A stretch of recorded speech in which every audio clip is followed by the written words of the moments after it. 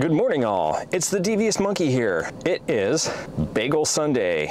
The temperature is currently 27 degrees. Everything is a sheet of ice. Hopefully today, I mean, it's only 27 now, but it's supposed to get up into the 40s, and I'm hoping that that will melt a considerable amount of this so that it just doesn't keep lingering around. All right, let's go snarf bagels. All right, kids, we're off to the, I almost said chiropractor, the eye doctor. I just had my appointment. I let her know that those contacts just weren't good for me for close vision, which is what I wanted them for, that I basically, uh, hold on a second. I'll tell you what's going on right now, is that I had my freaking eyes dilated. I forgot about that. And now it is just absolutely painful. Oh, that's ever so much better.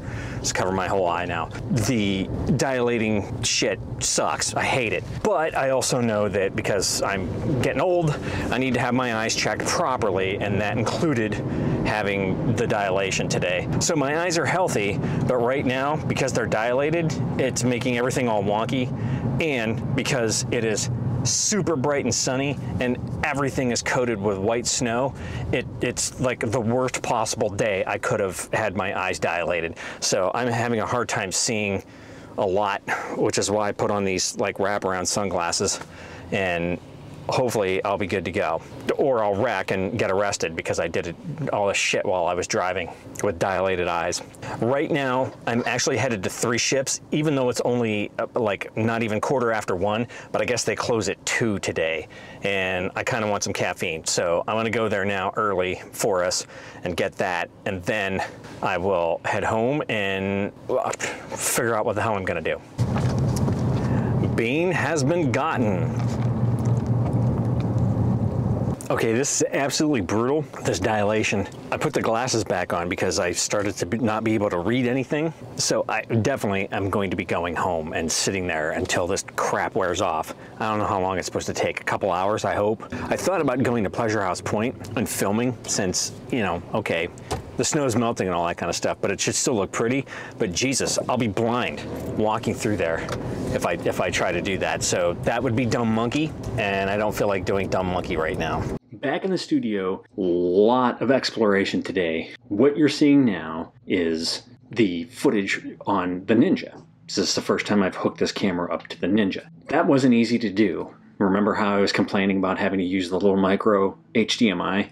I had a shit ton of those cables, but I couldn't find any full-size HDMI to full-size HDMI, with the exception of one that I was using for an external monitor, for that Feelworld monitor, and it had a coiled cable, and it just, the way that I have this set up right now, it's not a very tight fitting, giggity, on a, like a magic arm, so it kept pulling the Ninja and twisting it around. So obviously I couldn't do that. The only other full size to full size HDMI cable that I found was like 10 feet long.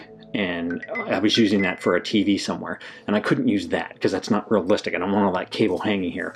So I went into the magical drawers. And lo and behold, I found this cable. Here's the thing, as, as I'm looking at myself, it looks fantastic. I'm in focus. I'm exaggerating my gestures, you know, doing the Kermit the Frog thing just to try to see if it'll hunt. And it's not hunting, it's not focus breathing because I have focus breathing compensation on. Yay! But what is happening is that the Ninja keeps flickering off. So I don't think this cable is good or somewhere I have like somewhere in here it's just not staying connected and and the image keeps blinking off. Also, I had to then go into the camera and find the setting so that my screen didn't black out because I like to be able to see what I'm on there. So right now, the typical settings, the you know the manual, I'm on 150th f2.8 and it's at ISO 6400. I, I, I have it on auto ISO. I don't pay attention to it really all that much. It looks fine. When I first sit down on the screen though, it's pretty dark. And then once it gets my melon in there, it starts to, to even out. That's pretty much what I've been doing is I've been trying to go through all my gear and get it set up for now having this A7 IV rather than the A7C or any other thing I had because if I was using the ZV-1s as well then all this stuff, or even the A6600s, it was all the micro HDMI. And it just hit me too, as I was looking around, that the Weebill that I have, you know, the, the HDMI that goes into the transmitter AI, also was a micro. So I had to go into the closet, find the box for the transmitter AI, and hope that I put all the cables in there, which I did. I left them all in there, and I found the full size to full size HDMI cable and replaced that right away. Now I haven't hooked that up and tried it, but that'll come later this week maybe I'll, I'll, give it a test i probably should have done it today when everything was icy because then I'd be walking like I was trying to carry a cherry in my butt crack and holding on to the the Weebill and trying to make sure that it was all smooth and gimbally like. That's for another time. That's really all I've got for you today. I've already started my office day. I went in and you know the laundry's already in the dryer actually at this point. I've had a late lunch and I'm ready to go. Pupil dilation is still going on now. I looked it up because she didn't really say how long it was going to be. Minimum 4 to 6 hours and I'm just now starting to be able to kind of see clearly. When your pupils are open like that, it's really hard to see.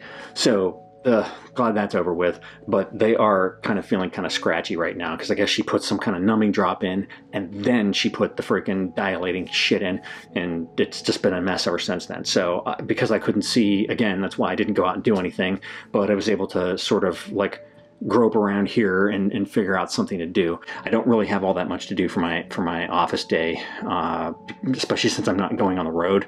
And uh, but I do have a lot of things that I want to do, but I can do those all week. And I am going to continue going through and figuring how to do stuff. Every little bit that I get into, I start to realize that oh yeah, I forgot to set that and like things like the HDMI because I just I wasn't even connecting to the Ninja or didn't even think about it, and then all of a sudden I had to, and I was like, oh shit, I don't have the right cable. Oh shit, I don't have the right cable for the freaking Weebill either. So uh, little things like that are going to come up, and I'm going to have to start paying attention.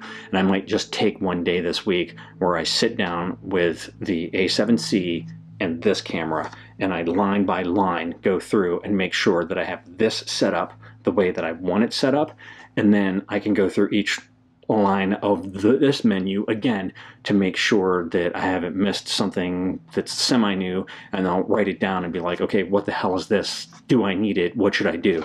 Lots to learn. I'm so excited. All right other than that that's it. That's all I've got for you. I do want to hear your thoughts on what this footage looks like that I have taken from the camera right to the Ninja. And this is also going to be the first time that I'm going to take stuff off the Ninja from this camera onto the MacBook Air M1 and see how it handles it.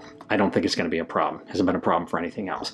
So that's it. That's all I've got for you today. If you have any comments, questions, or suggestions, leave them down below. As always, thank you for joining me. Be sure to like and subscribe. And remember, kids, forward and up.